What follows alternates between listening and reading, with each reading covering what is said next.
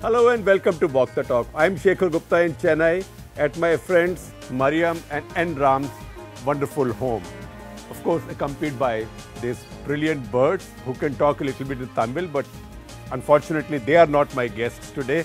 My guest, somebody who knows Who little- talk any who, Tamil. who, who can talk in Tamil and who cannot talk to birds, but you can talk to genes, human genes and DNA. Indeed. Professor Eric Lander, welcome to Walk the Talk. Great to be here. Very, And- very good.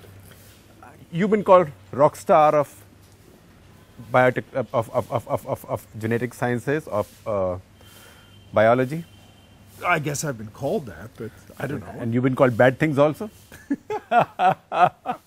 it's just an amazing time in genetics, and so Look, genetics is something that nobody knew anything about. Uh, someone like me who studied biology in the 70s, I do remember my F1, F2, and uh, Mendel's law and Uh-huh. stuff like that. And we all, all our imaginations uh, were fired when Dr. Hargobind Khorana got his Nobel Prize because he had an Indian name, not an Indian citizen, but Indian extraction. Uh, but since then, the complete change and the revolution you and your team brought about about 12 years ago well, when you map the genome. uh, this is a wonderful international project. Scientists came together and said, Right. you know, all this information is written in all of our cells, Right. and in the 1950s, when Watson and Crick figured out the double helical structure of DNA. yes. They had no clue that in their lifetime it would ever be possible to read out all that information.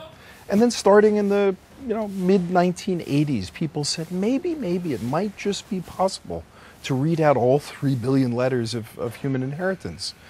And remarkably, the scientific community came together across nations and got the thing done in a little more than 10 years. And said if these birds can learn to speak Tamil, Oh, we can learn to we can learn DNA. to read DNA. Exactly, Yes, yes, exactly. Yes. And uh, so uh, you just had this mass, tiny mass called DNA, and you just broke it up. Well, the, look, if, if, it was, if it was sensible, you'd start at the beginning of the book and you Right. just start reading from one end to the other. But we can't read DNA like that. So it, it, it was a question of turning it into a, a vast jigsaw puzzle. Take all the DNA out of the cells in your body, shred it up into tiny little pieces, a few hundred letters each, a few hundred chemical units each, and then by painstaking chemical methods, read out those letters, and then by computer, patch them all back together in this jigsaw puzzle. And it was a great impetus to invent lots of new methods in the laboratory and in the computer. And you know, around 2001, 2002, 2003, we found we were done. Except we weren't really done, of course, because all we had was three billion letters. It was as if, uh, as if I got a book in Tamil. I couldn't read it. There'd be a lot of letters. I could see all the letters, but I wouldn't know what it meant. So much more interesting than this Human Genome Project over the over that previous decade has been the last ten years, when we've been trying to learn how to read the language of DNA. So cracking the code in a way. Well, right. So when people talk about the Human Genome Project, they often say that was cracking the genetic code. Right. Well, not really. It was just reading out the letters. Right, right. Cracking the code is cracking the meaning. That- that That's gave- what's going on in, in, Yeah. in this past decade. And that's made progress. Well, look, that makes progress we really care about. It makes progress for medicine. Because, look, the embarrassing thing about the 20th century was we could describe diseases, but we couldn't tell you what the cause was. We could tell you lots about, oh, diabetes and heart disease and, and mental disease, and we could give descriptions. But if you ask me, why do some people get And diabetes? autoimmune disease, Autoimmune most complex. disease. You know, why does this happen? Well, nobody could really give a good reason why one person might die early of a heart attack and another wouldn't. Or one person might have a mental disease like schizophrenia and another person wouldn't, let alone a good accounting of the, the like the cellular machinery by which it works and by which one might hope to fix it. So it's just one great big black box. And the great thing about DNA was it was a uniform way to pry open the black box. So of we were all treating symptoms.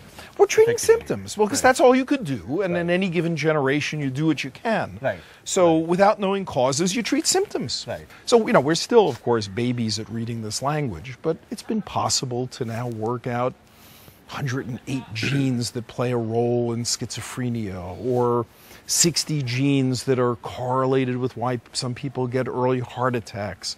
Uh, for many rare genetic diseases, there's now been at least 3,600 that have been solved.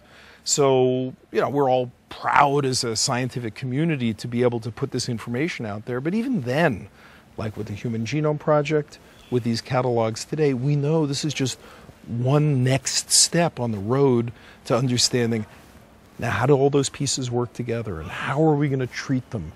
And so it's really a progression that, that has always in mind our children. This is really for the next generation that we want to have all this laid out And grandchildren. and grandchildren. I mean, that's that's the thing is you know if, if you think about oh you know Wall Street and biotechnology, you know they're, they're focused very appropriately on the next quarter and the next year, and I'm glad they they worry about those timelines. But if you're doing science, the timelines that matter are what is this generation going to do for the next generation. Right.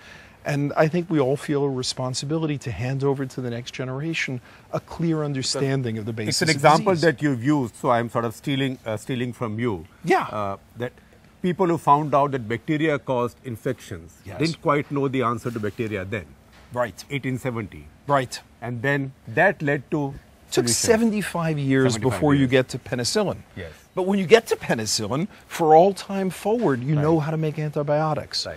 And so the great thing about scientific knowledge is when you get it, it's forever.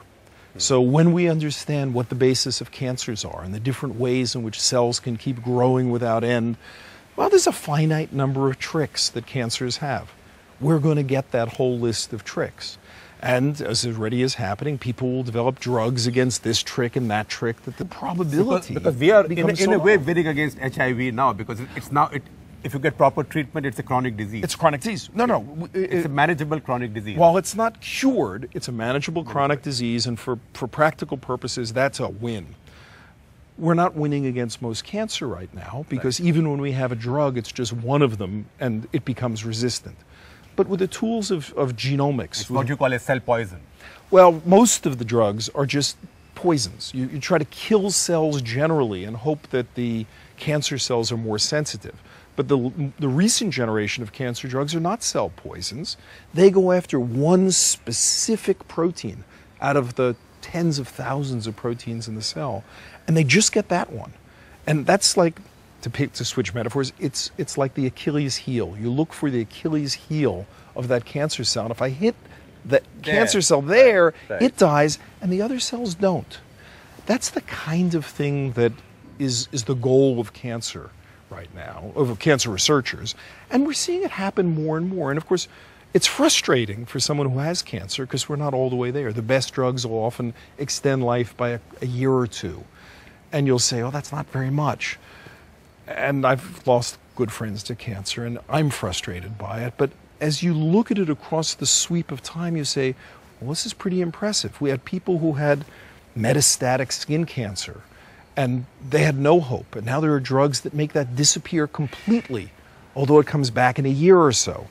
But to a scientist, that says, hmm, one trick down. We got to get two more tricks, and then we, we win. So genomics is converted. This is what I mean about opening it up and looking inside the black box. Before you could just try drugs and try poisons and hope. Or under the hood of the car as well, as, as I've like said, use, yes. right? It would be like if you had to fix your car without being able to pop the hood. Right. Sometimes you could get it right by just guessing, but it's no it's no strategy for fixing. Uh, fixing in your India, particularly in South India, we have a tradition of Nadi Vaidyas. These are very wise doctors who feel your pulse and tell you. Right. So, I mean, maybe they can get it right sometimes, but it's not as much information as you would really like to have.